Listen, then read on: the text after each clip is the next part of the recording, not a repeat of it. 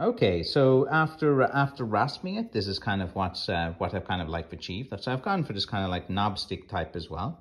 You see nice little purplish colors there and different hues. So you just kind of like rasp it away there and you get get the, the kind of shape that you uh, that you want on, on the particular stick. And um, then after using the uh, the rasp, it's time for, for sanding it. So you just want to, uh, to, to sand it down and make it look smooth as well. So that'll be the next stage after this.